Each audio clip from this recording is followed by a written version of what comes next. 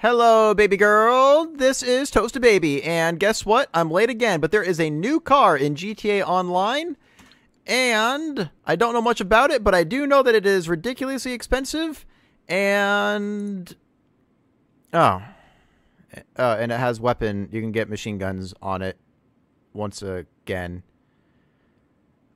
Okay, so um, this looks like it's going to be another sports car, probably.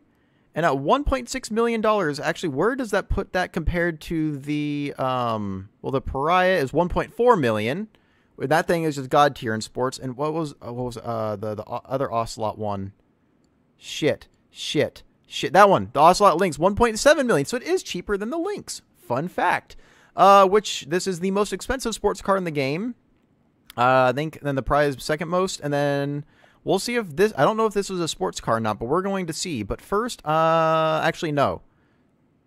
I'll just get this in my in my main garage. I'll move it to where I want to have it, or if I want to keep it, then I'll move it there. Okay, so we are going to move it to here, and then we just need to go pick it up and see what Rockstar was thinking, if they were thinking.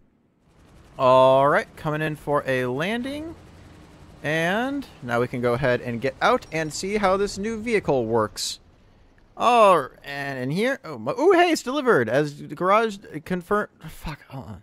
It's being confirmed, been confirmed, delivered to garage number three. God, I got it. Yes, thank God I made a script this time. All right, so and I just need to head up to the top.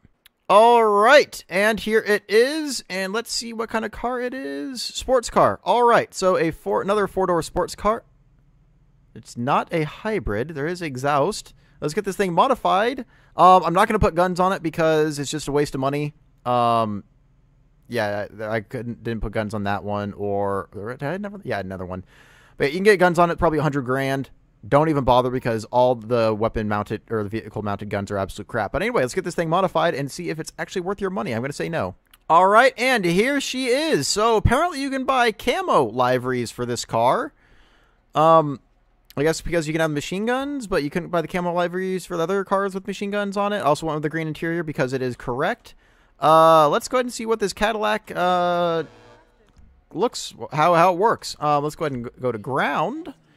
And because you can put camo on it, and because you can have guns, that must mean, especially for this price, that must mean that this is explosive resistant. So we're going to go ahead and test that out because I mean, for 1.6 million dollars, guns and camo, it's got to be able to take an explosion. Oh, it can't. All right, so this can't take an explosion, costs 1.6 million dollars, and can have machine guns on it and can take camo. But let's see how it is. Uh, one thing I have noticed so far is this does have very, very good acceleration. Uh, traction in the corners, not so much, but this thing really does take off very well, which is it. Four-wheel drive. Okay, so it's four-wheel drive. So that's probably why it has good acceleration. But, I mean, look at this. Stand still. Going. Going. And we're already flying. So this does have very good acceleration. Not too good in the corners.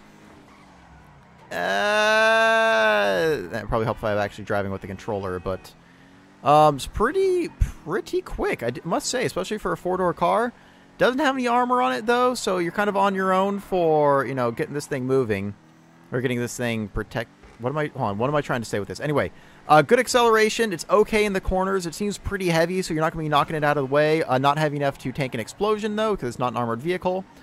Um, but for 1.6 million, if you're looking for a four-door car to drive your friends around in, uh, Kuruma or the uh, Armored Schafter V12. If you're looking for an, uh, a sports car that can annihilate everyone else, Pariah for 200 grand less that annihilates literally everything else in the sports class, or just get an Elegy for free. Well, that's not four door, but you know, sports car. But um, yeah, this don't don't buy it unless you just really have to have it for some reason. But it doesn't stand out in any particular field. It's just another expensive car. So yeah, I'll see you guys for the next one. Love ya on your bum.